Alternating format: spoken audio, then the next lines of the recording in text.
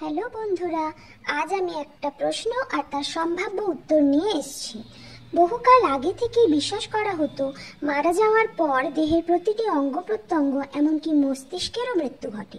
পৃথিবীতে এমন অনেক নজির রয়েছে যে ডাক্তার মৃত্যু ঘোষণার পরও রোগী জীবিত হয়ে উঠেছে। তেমনি রোগীদের কাছ থেকে প্রশ্ন করা হয়েছে তাদের সেই সময়কার অনুভূতি সম্পর্কে।